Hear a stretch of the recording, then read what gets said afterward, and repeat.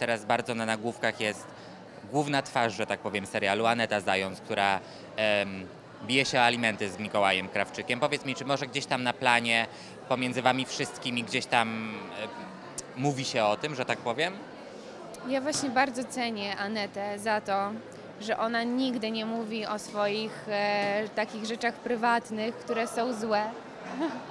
E, bardzo trzyma e, to wszystko dla siebie i nigdy nie, nie oczerniała e, Mikołaja i jakby naprawdę mam za to ogromny szacunek do niej i tak naprawdę nikt nie wie, co jest, co tam się dzieje.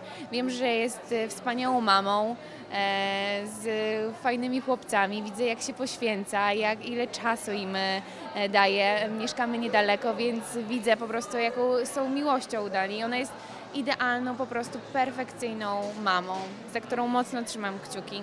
A wy jesteście też takimi koleżankami, że kiedy jednak pada ten ostatni klaps, to na przykład na drinka też potraficie sobie pójść we Wrocławiu, bo we Wrocławiu krę- krę- kręcicie pierwszą miłość, prawda? Tak, oczywiście. No, y, często zostajemy tam e, i nocujemy, więc jakby często spędzamy czas razem.